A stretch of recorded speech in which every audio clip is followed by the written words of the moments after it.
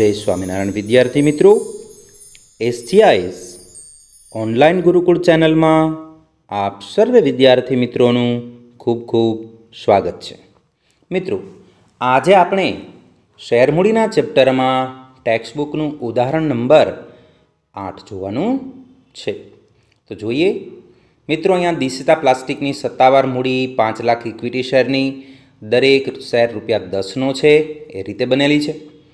તારીખ અગિયાર જુલાઈ સત્તરના રોજ કંપનીએ ચાર લાખ ઇક્વિટી શેર એંસીના પ્રીમિયમથી બહાર પાડ્યા છે. કંપનીએ રકમ આ રીતે મંગાવી છે. તારીખ અગિયાર જુલાઈ બે હજાર સત્તરના રોજ અરજી વખતે ચોર્યાસી રૂપિયા, જેમાં એંસી પ્રીમિયમ છે. તારીખ અગિયાર સપ્ટેમ્બર સત્તરના રોજ મંજૂરી વખતે ત્રણ રૂપિયા અને તારીખ અગિયાર નવેમ્બર સત્તરના રોજ આખરી હપ્તાના ત્રણ મંગાવ્યા છે. શેર ભરણું તારીખ અગિયાર જુલાઈ સત્તરના રોજ સંપૂર્ણ ભરપાઈ થઈ ગયું હતું, એટલે કે બંધ થયું હતું. ડિરેક્ટરોએ તારીખ એકવીસ જુલાઈ સત્તરના રોજ અરજીના બધા જ શેર મંજૂર કર્યા. ચાર હજાર શેર સિવાયના બધા જ શેર પર મંજૂરીની રકમ તારીખ એકવીસ સપ્ટેમ્બર બે હજાર સત્તરના રોજ મળી ગઈ હતી. જ્યારે આખરી હપ્તાની રકમ બીજા બે હજાર શેર સિવાય તારીખ એકવીસ નવેમ્બર બે હજાર સત્તર સુધીમાં પૂરેપૂરી મળી ગઈ હતી. ઉપરના વ્યવહારો અને કંપનીના ચોપડામાં બેંકને લગતા વ્યવહારો સિવાયની આમ નોંધ પસાર કરું અને બેંક ખાતું તૈયાર કરું. મિત્રો, અહીંયા આપણે બેંક સાથેના જે વ્યવહારો છે, એ સીધા જ બેંક ખાતામાં લખવાના છે, તેની આમ નોંધ કરવાની રહેતી નથી. સમગ્ર રકમ ટૂંકમાં સમજીએ તો પાંચ લાખ શેર બહાર પાડવાની કંપનીને સત્તા છે, એક શેર દસ રૂપિયાનો છે. કંપનીએ ચાર લાખ ઇક્વિટી શેર બહાર પાડ્યા છે. એક શેર પર એંસી રૂપિયા પ્રીમિયમ મંગાવવામાં આવ્યું છે. સર્વપ્રથમ અરજી વખતે ચોર્યાસી રૂપિયા એટલે કે ચાર શેર મૂડીના અને એંસી પ્રીમિયમના છે. મંજૂરી વખતે ત્રણ મંગાવ્યા છે અને આખરી હપ્તાના ત્રણ મંગાવ્યા છે. આપણને અહીંયા આપેલું છે કે અગિયાર જુલાઈ સત્તરના રોજ સંપૂર્ણ ભરાઈ જતા ભરણું બંધ કરવામાં આવ્યું છે. અરજીના નાણાં પૂરેપૂરા મળ્યા છે અને ચાર હજાર શેર પર મંજૂરીના નાણાં નથી મળી શક્યા. જ્યારે બે હજાર શેર પર આખરી હપ્તાના નાણાં નથી મળી શક્યા. તો મિત્રો, અહીંયા આપણે સર્વપ્રથમ ગણતરીઓ જોઈશું અને ગણતરીઓ પરથી આમ નોંધ અને બેંકમાં વ્યવહારોની નોંધ કરીશું. મિત્રો, અહીંયા ખાસ યાદ રાખવાનું છે કે જે વ્યવહાર બેંક સાથે થયેલો છે, તેની આમ નોંધ કરવાની નથી, પરંતુ એની સીધી જ અસર બેંક ખાતામાં કરવાની છે. આપણે એક એક વ્યવહારની ગણતરી કરતા જશું અને તેની સાથે તેની આમ નોંધ અને બેંક ખાતામાં પણ અસર કરતા જશું. તો જોઈએ હવે આપણે ગણતરી. તો મિત્રો, હવે જોઈએ આપણે ગણતરી. સર્વપ્રથમ, ગણતરીમાં અરજી વખતે આપણે ચાર લાખ ઇક્વિટી શેર પર રૂપિયા ચોર્યાસી મળ્યા છે. અરજી વખતે ચાર લાખ ઇક્વિટી શેર પર આપણને ચોર્યાસી મળ્યા. લખીએ શેર અરજી. ચાર લાખ ઇક્વિટી શેર એને ગુણ્યા કરીશું રૂપિયા ચોર્યાસી. એટલે આપણી રકમ થશે ત્રણ કરોડ છત્રીસ લાખ. તો મિત્રો, આપણા બેંક ખાતામાં ત્રણ કરોડ છત્રીસ લાખ રૂપિયા શેર હોલ્ડરો દ્વારા જમા થશે. અહીંયા લખીએ બેંક હવે અરજીની ફરીથી પાછી બીજી ગણતરી, કારણ કે આપણે અરજીમાંથી શેરમૂડી અને જામીનગીરી પ્રીમિયમ ખાતે રકમ લઈ જવાની છે. તો ચાર લાખ ઇક્વિટી શેર જેના પર ચાર રૂપિયા લેખે શેરમૂડીની રકમ છે. તો કરીએ ગુણ્યા ચાર. અને રૂપિયા એંસી જામીનગીરી પ્રીમિયમના છે, ગુણ્યા ચાર અને ગુણ્યા એંસી. તો મિત્રો ચાર લાખ ગુણ્યા ચાર એટલે રૂપિયા સોળ લાખ. તો સોળ લાખ રૂપિયા એ આપણી શેર મૂડી છે. અને રૂપિયા ત્રણ કરોડ વીસ લાખ એ આપણું જામીનગીરી પ્રીમિયમ છે. ત્રણ કરોડ વીસ લાખ જામીનગીરી પ્રીમિયમ થશે. જામીનગીરી પ્રીમિયમ ટૂંકમાં લખીએ, જામીનગીરી પ્રીમિયમ. મિત્રો આમનોંધ માટે આપણે આપીએ કોડિંગ બેંક ખાતે ઉધાર, અહીંયા કરીએ ઉધાર, તે શેર અરજી ખાતે કરીએ જમા. ત્યારબાદ શેર અરજી ખાતે ઉધાર, તે શેર મૂડી ખાતે જમા કરીએ અને જામીનગીરી પ્રીમિયમ ખાતે જમા કરીએ. તો મિત્રો, આ થઈ આપણી શેર અરજીની ગણતરી. હવે જોઈએ શેર મંજૂરી. મિત્રો, મંજૂરીમાં ફક્ત ત્રણ રૂપિયા મંગાવવામાં આવે છે. એમાં કોઈ પ્રીમિયમ મંગાવવામાં આવતું નથી. તો ચાર લાખ શેરની સંખ્યા, એને ગુણ્યા ત્રણ કરીએ, એટલે રૂપિયા બાર લાખ થશે. જેને કહેશું શેર મૂડી. તો મિત્રો આ રકમ થશે આપણી શેર મૂડીની. ચાર લાખમાંથી આપણને ચાર હજાર શેર પર મંજૂરીના નાણાં મળતા નથી. તો ચાર લાખમાંથી ચાર હજાર શેર અરજીઓ બાદ કરીએ, એટલે ત્રણ લાખ છન્નું હજાર, એને ગુણ્યા ત્રણ અને ચાર હજાર શેર પર ત્રણ લેખે બાર હજાર મંજૂરીના નાણાં મળતા નથી. અગિયાર લાખ અઠ્યાસી હજાર આપણા બેંક ખાતામાં શેરહોલ્ડરો મંજૂરીના જમા કરશે અને બાર હજાર રૂપિયા એ આપણા મંજૂરીના બાકી. મિત્રો, આની ગણતરી ન કરીએ તો પણ ચાલે. બાકી મંજૂરીની રકમ. તો મિત્રો, આની આપણે આમનોંધ માટેનું કોડિંગ જોઈએ. શેર મંજૂરી ખાતે ઉધાર, તે શેર મૂડી ખાતે જમા, બેંક ખાતે ઉધાર, બાકી મંજૂરી ખાતે ઉધાર, તે શેર મંજૂરી ખાતે જમા. મિત્રો, આ થઈ આપણી મંજૂરીની ગણતરી. હવે જોઈએ આપણે આખરી હપ્તાની ગણતરી. તો મિત્રો, શેર આખરી હપ્તો. ચાર લાખ ઇક્વિટી શેર છે. અને તેના પર પણ આપણને ત્રણ રૂપિયા જ મંગાવવાના છે. એટલે કે મંગાવવાના છે એમ આપેલ છે. તો ચાર લાખ ગુણ્યા ત્રણ એટલે થશે રૂપિયા બાર લાખ. ચાર લાખ ગુણ્યા ત્રણ કરીએ. રૂપિયા બાર લાખ શેર મૂડી ખાતે ટ્રાન્સફર કરીશું. તો બાર લાખ, અહીંયા લખીએ શેર મૂડી હવે મિત્રો ચાર હજાર શેર પર મંજૂરીના નાણાં નથી મળ્યા. બે હજાર શેર પર આખરી હપ્તાના નાણાં નથી મળ્યા. એટલે કુલ છ હજાર શેર પર નાણાં મળ્યા નથી. તો ત્રણ લાખ ચોરાણું હજાર શેર પર આખરી હપ્તાના નાણાં મળશે. અહીંયા લખીએ ત્રણ લાખ ચોરાણું હજાર. ત્રણ લાખ ચોરાણું હજાર ગુણ્યા કરીએ ત્રણ અને છ હજાર શેર એને ગુણ્યા કરીએ ત્રણ. તો મિત્રો આપણને આખરી હપ્તાના નાણાં મળશે અગિયાર લાખ બ્યાસી હજાર, જે આપણા બેંક ખાતામાં શેરહોલ્ડરો દ્વારા જમા થશે અને આખરી હપ્તાના રૂપિયા અઢાર હજાર એ કહેવાશે આપણા બાકી હપ્તા. તો મિત્રો, આપણા બાકી હપ્તા થશે અઢાર હજાર.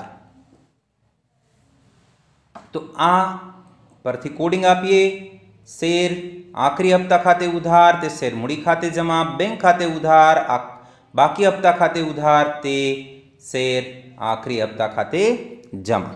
તો મિત્રો, આ થઈ આપણી ગણતરી. હવે જોઈએ આપણે આમ નોંધ અને આપણું વિદ્યાર્થી મિત્રો, આપણે બેંક ખાતું, એમાં એન્ટ્રી કરીએ ઇક્વિટી શેર અરજી ખાતે. આપણે બેંક ખાતું અને આમ નોંધ એના ફોર્મેટ તૈયાર કરેલા છે. ચાર લાખ ઇક્વિટી શેર પર અરજી વખતે રૂપિયા ચોર્યાસી લેખે આપણને ત્રણ કરોડ છત્રીસ લાખ રૂપિયા મળ્યા.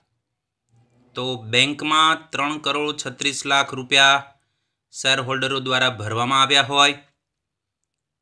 બેંક ખાતે ઉધાર કરીશું.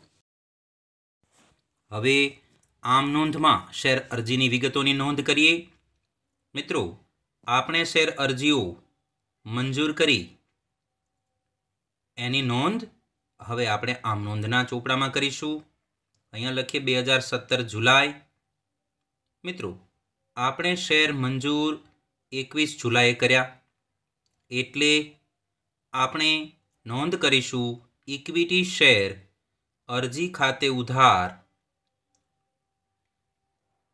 ઇક્વિટી શેર અરજી ખાતે ઉધાર.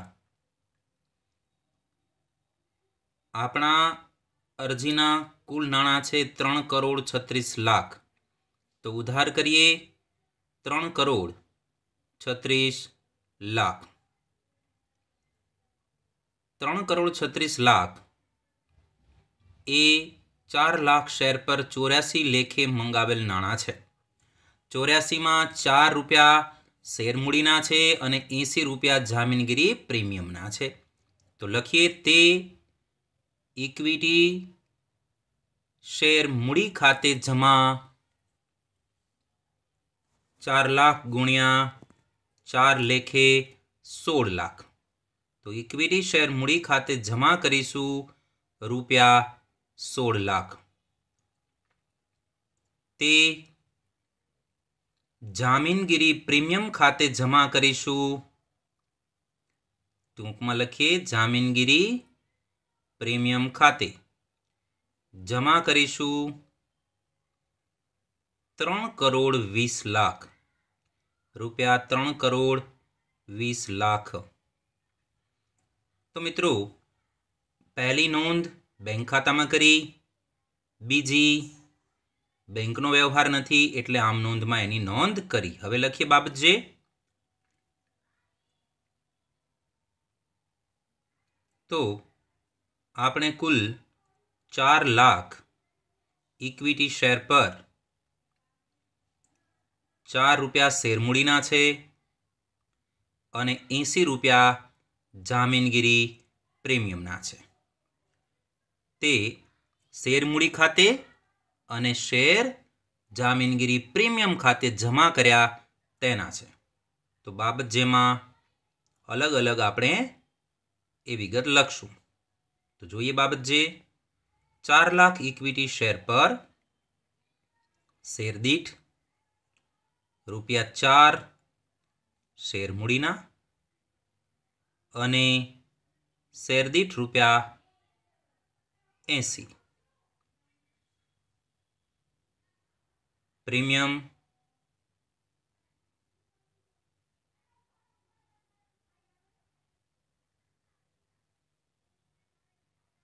ખાતે લઈ ગયા તેના, અથવા તો જમા કર્યા તેના. તો મિત્રો, આ થઈ અરજીની નોંધ. હવે, ત્યાર પછી મંજૂરીના નાણાં મંગાવવાના છે. તો એની આમ નોંધ કરવી પડશે. તો જ્યારે જ્યારે આપણે આમ નોંધ કરીએ, ત્યારે એ ખાસ ધ્યાનમાં રાખવાનું છે કે આમ નોંધ કરતી વખતે બાબત જેમાં દરેક વિગત વ્યવસ્થિત રીતે નોંધવાની જરૂરી છે. હવે જોઈએ શેર મંજૂરીની આમ નોંધ. તો મિત્રો, આપણે ગણતરીમાં જોયું કે સપ્ટેમ્બર માસની અગિયાર તારીખે મંજૂરીના નાણાં મંગાવવામાં આવ્યા હતા. લખીએ સપ્ટેમ્બર અગિયાર. ચાર લાખ ઇક્વિટી શેર પર ત્રણ રૂપિયા લેખે મંજૂરીના નાણાં મંગાવેલા છે. ઇક્વિટી શેર મંજૂરી ખાતે ઉધાર કરીએ રૂપિયા બાર લાખ. તો બાર લાખ ઇક્વિટી શેર મંજૂરી ખાતે ઉધાર કરીએ. તે ઇક્વિટી શેર મૂડી ખાતે જમા કરીશું. ઇક્વિટી શેર મૂડી ખાતે જમા કરીશું રૂપિયા બાર લાખ. મિત્રો, આ દાખલામાં આપણને તારીખ આપેલી છે, એટલે દરેક આમ નોંધમાં અને બેંકના વ્યવહાર નોંધતી વખતે તારીખ લખવી જરૂરી છે. હવે જોઈએ બાબત છે. તો મિત્રો, આપણે ચાર લાખ ઇક્વિટી શેર પર મંજૂરીના રૂપિયા ત્રણ લેખે નાણાં મંગાવ્યા છે.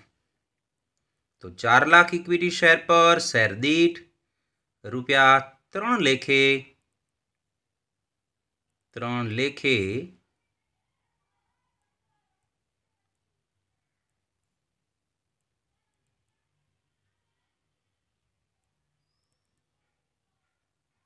નાણાં મંગાવ્યા તેના. તો મિત્રો, આ થઈ મંજૂરીની નોંધ. હવે મંજૂરીના નાણાં આપણને મળે છે. જેની એન્ટ્રી આપણે કરવી પડશે બેંક ખાતામાં. તો સપ્ટેમ્બર માસની એકવીસ તારીખે આપણને નાણાં મળે છે. તો લખીએ બેંક ખાતામાં. ઇક્વિટી શેર મંજૂરી ખાતે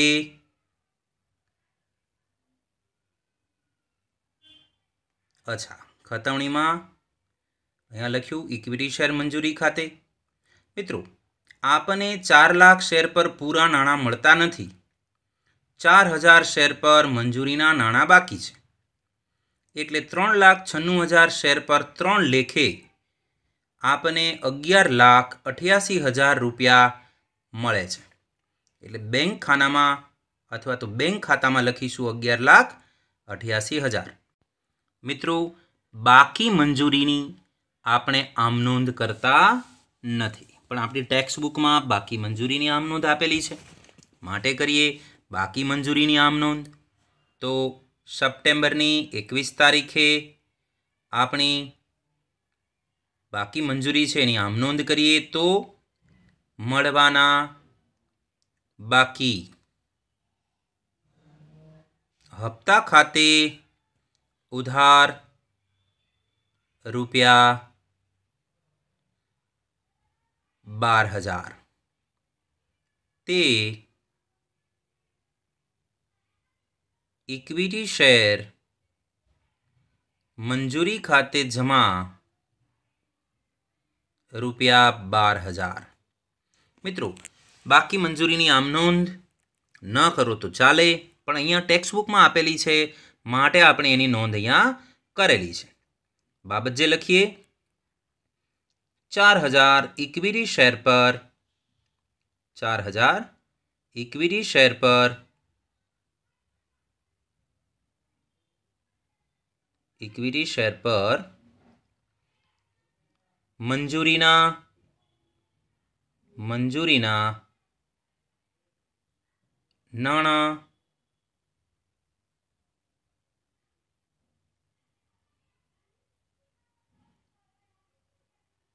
ન મળતા અથવા ન મળ્યા તેના. તો મિત્રો ચાર હજાર શેર પર નાણાં ન મળ્યા તેના. મિત્રો, હવે આપણે નવેમ્બરની અગિયાર તારીખે ઇક્વિટી શેર આખરી હપ્તાના નાણાં મંગાવવાના છે. તો મિત્રો, ઇક્વિટી શેર આખરી હપ્તા ખાતે કરીએ ઉધાર. ચાર લાખ શેર પર શેર દીઠ ત્રણ લેખે ગણતરી કરીએ તો રૂપિયા બાર લાખ આખરી હપ્તાના મંગાવવાના થશે. તો આપણે કરીએ નોંધ. ઇક્વિટી શેર આખરી હપ્તા ખાતે ઉધાર બાર લાખ.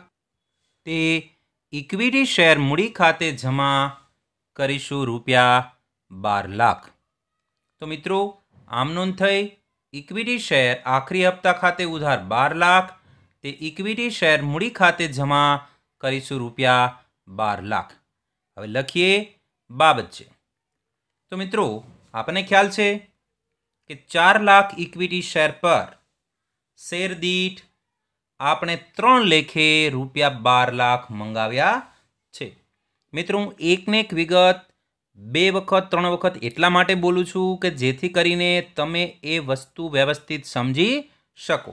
તો બાબત જે થઈ કે ઇક્વિટી શેર આખરી હપ્તાના નાણાં, આખરી હપ્તાના નાણાં મંગાવ્યા તેના. તો મિત્રો, આ થયા આખરી હપ્તાના નાણાં મંગાવ્યા, તેની નોંધ. મિત્રો, ઇક્વિટી શેર આખરી હપ્તાના નાણાં આપણને અગિયાર નવેમ્બરના મળે છે. તો આપણે એની નોંધ કરીએ, બેંક ખાતામાં નાણાં મળે છે, એટલે ઇક્વિટી શેર આખરી હપ્તા ખાતે, મિત્રો, અગિયાર લાખ અને બ્યાસી હજાર આપણને મળે છે. કારણ કે ત્રણ લાખ ચોરાણું હજાર શેર પર ત્રણ રૂપિયા લેખે આપને અગિયાર લાખ બ્યાસી હજાર રૂપિયા મળે છે. ત્રણ લાખ ચોરાણું હજાર શેર ગુણ્યા કરીએ ત્રણ. મિત્રો, મંજૂરીના ચાર હજાર શેર પર નાણાં બાકી છે અને આખરી હપ્તાના બે હજાર શેર પર બીજા, એટલે ચાર ને બે છ મંજૂરી વખતે જે વ્યક્તિએ નાણાં નથી ચૂકવ્યા, એને આખરી હપ્તાના નાણાં પણ ન ચૂકવ્યા હોય. હવે આપણે આમ નોંધ કરીએ મળવાના બાકી હપ્તાની. તો નવેમ્બર એકવીસના નોંધ કરીએ મળવાના બાકી હપ્તા ખાતે ઉધાર રૂપિયા અઢાર હજાર. મિત્રો છ હજાર શેર પર ત્રણ લેખે અઢાર હજાર રૂપિયા આપને નાણાં મળવાના બાકી છે તેની નોંધ કરીએ. તે ઇક્વિટી શેર આખરી હપ્તા ખાતે જમા કરીશું અઢાર હજાર રૂપિયા. તો ઇક્વિટી શેર આખરી હપ્તા ખાતે જમા કરીએ રૂપિયા અઢાર હજાર. ફરીથી આખી આમ નોંધ બોલું છું. મળવાના બાકી હપ્તા ખાતે ઉધાર અઢાર હજાર તે ઇક્વિટી શેર આખરી હપ્તા ખાતે જમા રૂપિયા અઢાર હજાર. બાબત જે લખીશું આપણે કે છ હજાર શેર પર, છ હજાર ઇક્વિટી શેર પર આખરી હપ્તાના નાણાં, આખરી હપ્તાના નાણાં શેર દીઠ રૂપિયા ત્રણ. શેર દીઠ રૂપિયા ત્રણ. લેખે ત્રણ લેખે